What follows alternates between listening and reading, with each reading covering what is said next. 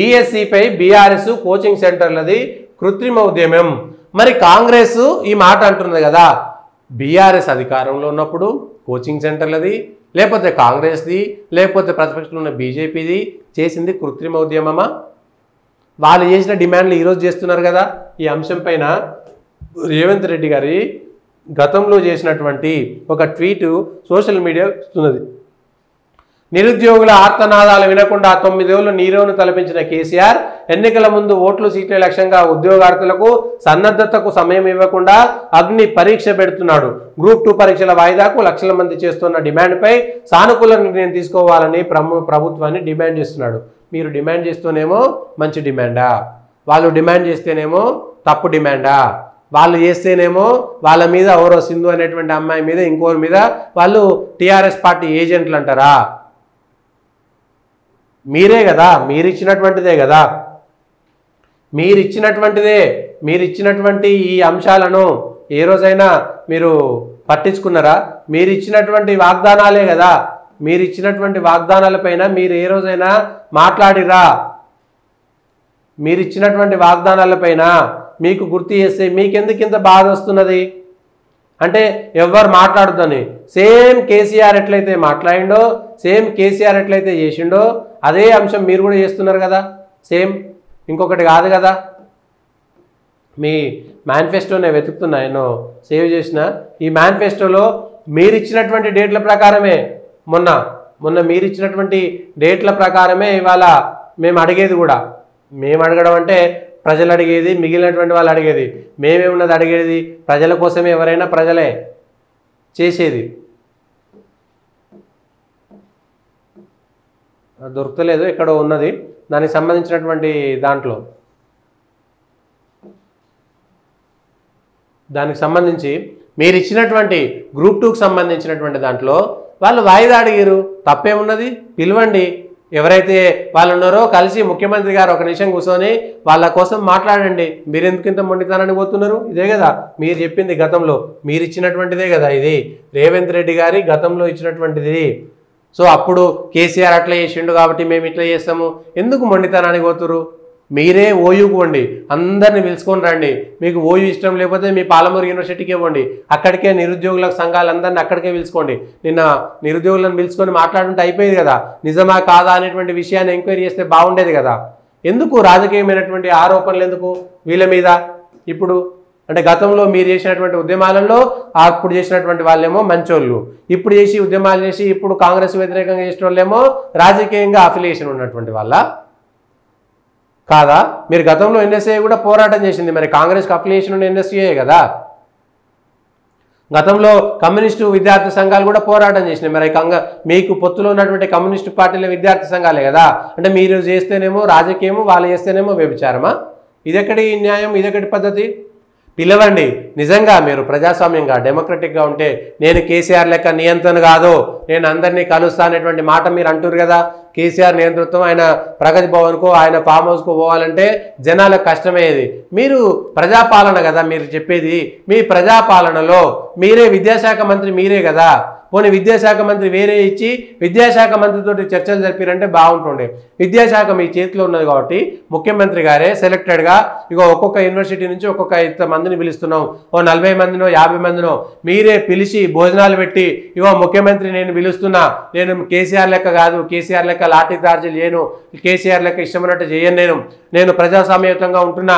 నిజంగా మీరు కొట్లాడేట వాళ్ళైతే మీకు సంబంధించినటువంటి ఎన్ఎస్ఏ విద్యార్థి సంఘమే మీ ఎమ్మెల్సీ చేసినటువంటి బలమూరి వెంకట గారి నేతృత్వంలోనే వాళ్ళందరినీ పిలిచి మొత్తం వందల మంది అక్కర్లేదు.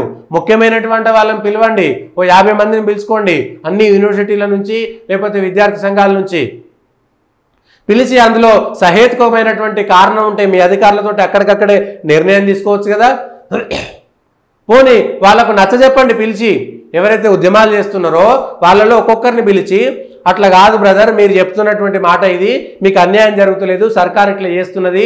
మీకు వాయిదా వేయకపోయినా నష్టం లేదు. ఎందుకంటే అని మీరు మీ అధికారులు వాళ్ళను చేస్తే ఏలెళ్ళు ఉండదు కదా. ఇంత బిజీ ఉన్నా సరే ఒక గంట సేపు పగటిపూట వాళ్ళని పిలిచి భోజనాలు పెట్టి వాళ్ళను సర్ది చెప్పేటువంటి ప్రయత్నం చేయండి. మీ ఎవరు అక్కర్లేదు. మీ కాంగ్రెస్ పార్టీకి సంబంధించినటువంటి ఎమ్మెల్సీ బల్మూరు వెంకట గారితో నాయకత్వం వహించమనండి. మిగిలిన వాళ్ళు అక్కర్లేదు. మీ ఎన్ఎస్యుఏ వాళ్ళు మీ యూత్ కాంగ్రెస్ వాళ్ళనే పిలిచి మిగిలినటువంటి అందరితోటి కలిసి కూర్చొని అన్ని యూనివర్సిటీల నుంచి ఒక్కొక్క విద్యార్థిని మిగిలినటువంటి విద్యార్థి సంఘాల నుంచి నలభై యాభై మందిని కలుపుకొని భోజనాలు పెట్టి ఇగో నేను కేసీఆర్ లెక్క నియంత్రణ కాదు మీరు సమస్యలు ఉన్నాయని చెప్తున్నారు వినడానికి నేను సిద్ధంగా ఉన్నా. ఓ గంట సమయం మీకు ఇస్తున్నా.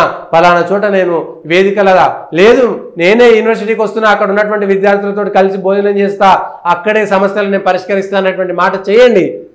ఒక రోల్ మోడల్గా ఉంటారు కదా కేసీఆర్ను టీఆర్ఎస్ను విమర్శించడానికి మీకు ఉపయోగపడుతుంది కదా దానికి సంబంధించినటువంటి అంశంలో? మిగిలినటువంటి అంశాల కంటే కూడా. మీరు ఎంతకంటే చెప్పేది ఉంటుంది ఇగో జేఎన్టీయూ చట్నీలో చిట్టెలుక చక్కర్లు నిన్న వీడియో ఉంది. ఎలుక స్విమ్మింగ్ చేస్తున్నది అందులో జేఎన్టీయూలా ఈ చారు ఏది పెరుగు చట్నీనో లేకపోతే అది ఏం చట్నీనో తెలియదు కానీ పెరుగు రసంలా. ఎలుక అయితే చేసిన వాళ్ళ తప్పు కాదు అక్కడ ఉండేటువంటి వసతుల తప్పు. వంటలు చేసేటువంటి ఏరియా గబ్బు గబ్బు ఉంటుంది. అక్కడ ఎలుకలు ఉంటాయి పందికొక్కులు ఉంటాయి జిల్ల పురుగులు ఉంటాయి బల్లులు ఉంటాయి పాములు ఉంటాయి తేళ్ళు ఉంటాయి. వాళ్ళు ఏం చేస్తారు? ఏం చేయరు. గవర్నమెంట్ హాస్టల్స్ గవర్నమెంట్ అంటే మెయింటెనెన్స్ దరిద్రంగా ఉంటుంది. ప్రజలు కూడా ఆలోచించాలి. గవర్నమెంట్ అంటే మాది అని ఇష్టం ఉన్నట్టుగా బిహేవ్ చేస్తారు. దాన్ని జాగ్రత్తగా ఉంచుకోరు ప్రజలు కూడా. సరే ఈ జేఎన్టీయూలా ఎట్లొచ్చిందో? బల్లిలో ఇక్కడ ఆశ్రమ పాఠశాలలో బల్లి పడ్డదట రామాయంపేట దగ్గర. మరి అదైందో చూడాలి. ఇరవై మంది వాంతులు చేసుకున్నారు. ఈ చచ్చిపోతే చచ్చిపోతే ఆ దరిద్రమైనటువంటి పరిస్థితి ఏమొస్తుంది? వెనుకట అంటే మేము చదువుకున్నప్పుడు మాకంటే ముందు తరం చదువుకున్నటువంటి సందర్భంలో హాస్టల్లో సీటు దొరకడే గగనం వాళ్ళు ఏది పెడితే దినాలనేటువంటిది ఒకటి ఉండే. ఎందుకంటే అప్పటికి స్కూల్లో సంఖ్య చాలా తక్కువ ఉండేది. గవర్నమెంట్ హాస్టల్ని చదువు. రెండు వేల తొంభై తొమ్మిది రెండు వేల సంవత్సరం తర్వాత గవర్నమెంట్ నుంచి ప్రైవేట్కి ఎగబడడం గ్రామాల్లో. పట్టణాల్లో నగరాల్లో మాత్రమే ప్రైవేట్ విద్య దొరికేది. గ్రామాలలో తొంభై ఐదు శాతం గ్రామాలలో ప్రైవేట్ విద్య లేకపోయేది ఉంటే ఒక శిశుమందిర్లు ఉండేది అంతే. ఎక్కడైనా ఉంటే శిశుమందిర్లు ఉండేది. ఆ శిశుమందిర్లు కూడా కార్పొరేట్ విద్యలాగా ఇష్టమైనట్టుగా ఫీజులు వసూలు చేయకపోయేది పాపం. కానీ ఈ గవర్నమెంట్ స్కూలే దిక్కుండేది కాబట్టి అందులోనే ఉండేది. ఇప్పుడైనా దయచేసి మార్చండి. గవర్నమెంట్ విద్య పైన బలోపేతం చేయడం కోసం ఒక ప్రత్యేకమైనటువంటి ఏదైనా చేయండి. గవర్నమెంట్ ఉద్యోగులంతా కూడా రెండు లక్షలు మూడు లక్షలు ఉన్నారు కదా వాళ్ళంతా ఇన్- మొత్తం టెన్త్ దాకా ఖచ్చితంగా పదవ తరగతి వరకు గవర్నమెంట్ స్కూల్లో చదువుతూనే వాళ్ళకు గవర్నమెంట్ ఉద్యోగం అని చెప్పండి. ఎమ్మెల్యేలు ఎంపీలు వాళ్ళ పిల్లలు కూడా గవర్నమెంట్ కాలేజీల స్కూల్లో అప్పుడైతే ఆ భయానికైనా సరే ఆ స్టాండర్డ్స్ పెరుగుతాయి. వసతులు పెరుగుతాయి. అప్పుడు భయం ఉంటుంది. టీచర్ల సంఖ్య పెరుగుతుంది. టాయిలెట్ల సంఖ్య పెరుగుతుంది. నీటి వసతి పెరుగుతుంది. మంచి మంచి వసతులు వస్తాయి. ఎమ్మెల్యేలు ఎంపీలు వాళ్ళ పిల్లలు వాళ్ళ మనవలు గవర్నమెంట్ ఉద్యోగులు ఐఏఎస్ ఆఫీసర్లు ఐపీఎస్ ఆఫీసర్లు మిగిలిన గవర్నమెంట్ ఉద్యోగులు మూడు నాలుగు లక్షల కుటుంబాలు ఉంటాయి కదా అంత. కాంట్రాక్ట్ గవర్నమెంట్ ఉద్యోగులు ప్ర మొత్తం అవుట్సోర్సింగ్ గవర్నమెంట్ ఉద్యోగులు. అందరూ కూడా గవర్నమెంట్ ఆ పాఠశాలకి పంపిస్తారంటే గవర్నమెంట్ సెక్టర్ తొందరగా పోతుంది. విద్యా వైద్యం విషయంలో రేవంత్ రెడ్డి గారు మంచి అవకాశం మీకు మంచి పేరు తెచ్చుకోవడానికి పెద్ద అవకాశం ఉన్నది.